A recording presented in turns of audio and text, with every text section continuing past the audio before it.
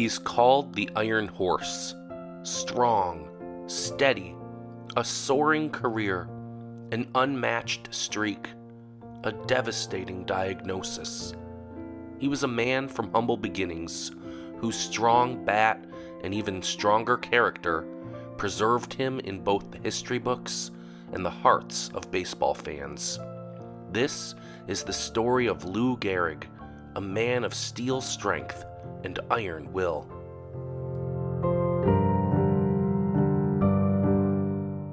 Born to German immigrants in New York City on June 19, 1903, Lou Gehrig was the only child of four to survive.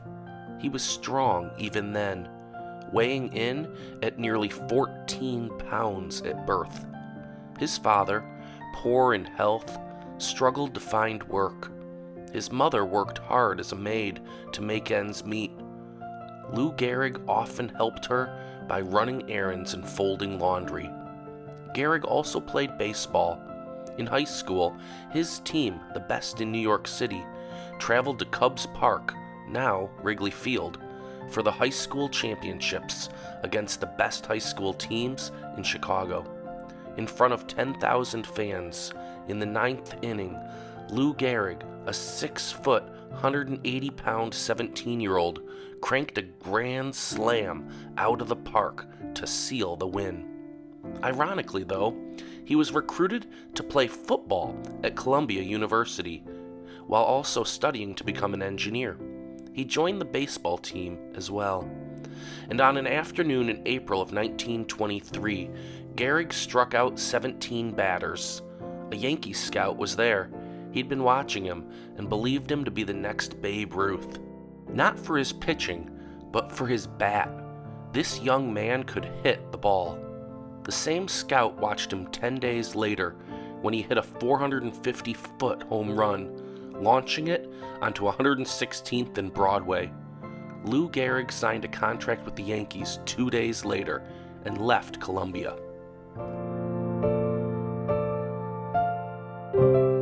He played a couple of years in the minors and got off to a slow start for the Yankees. His breakout season came in 1926, culminating with the Yankees' World Series appearance, where they lost three games to four.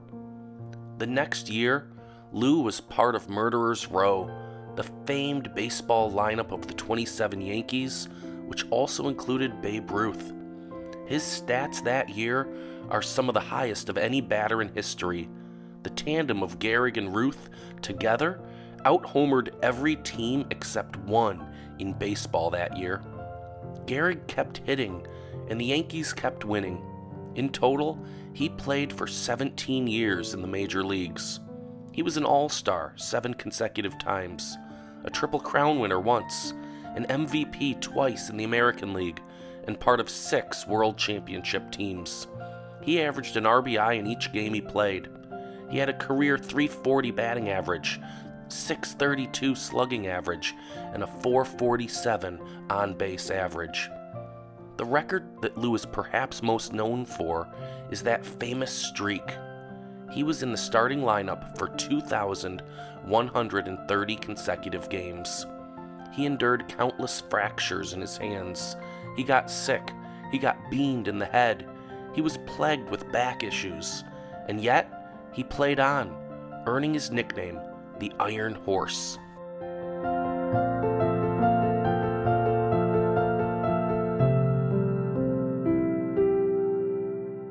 But in 1938, things were different. Gehrig was different. He fell below 300 for the first time in 13 years. Usual home runs became fly balls. A teammate noticed Lou Gehrig shuffling his feet on the golf course. In spring training the following season, he collapsed. Sports writer James Kahn wrote, I think there's something wrong with him. Physically wrong, I mean. It goes far beyond ball playing. On May 2, 1939, Gehrig took himself out of the lineup, telling his coach it was for the good of the team. The game announcer, upon receiving the roster, announced to the crowd, Ladies and gentlemen, Lou Gehrig's consecutive streak of 2,130 games played has ended. The Detroit Tiger fans honored him with a standing ovation as he sat on the bench in tears. He would remain the captain that season, but never took the field again.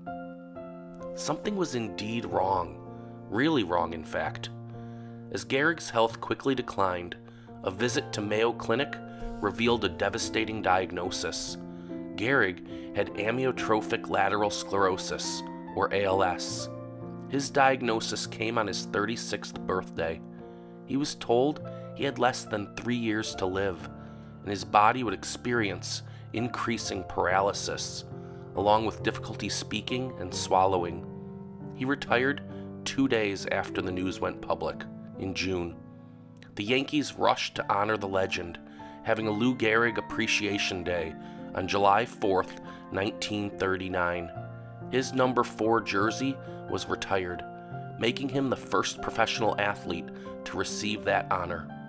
Lou Gehrig, not one to revel in the spotlight, didn't want to speak to the sold out Yankee Stadium, but the crowd chanted for him, and he delivered what has become one of the most iconic addresses in sports.